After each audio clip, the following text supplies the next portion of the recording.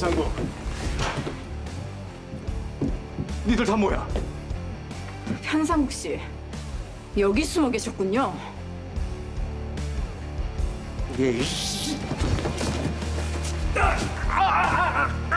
야, 네가 안 놔! 이거 놔! 부러져요, 부러져. 가만 있어. 아, 예, 아버지.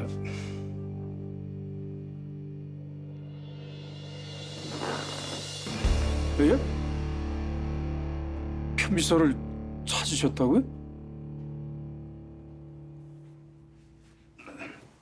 명예 회장님 정말 오랜만에 뵙습니다.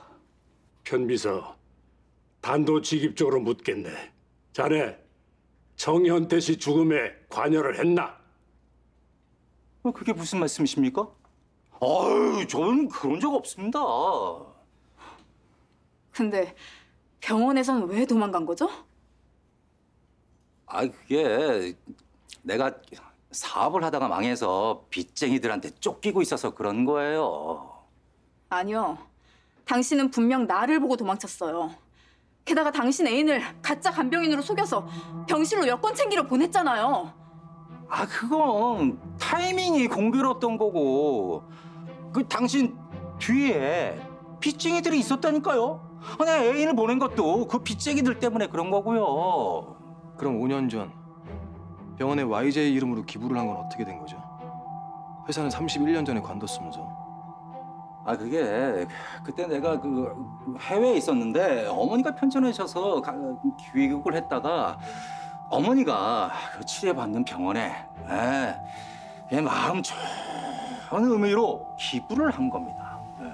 예. 그뭐 직업을 묻는데 당시 무직이라 YJ에서 근무한 적이 있다 어, 한 거죠. 현상국 씨, 지금 우리 보고 그걸 믿으라는 겁니까? 안 믿으면요.